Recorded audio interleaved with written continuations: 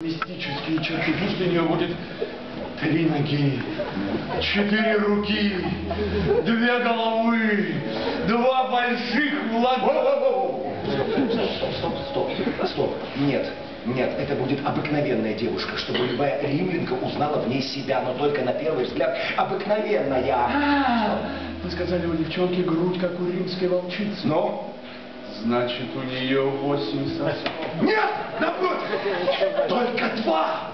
Но весь фокус в том, что, что, что у Урсулы фантастическая... А,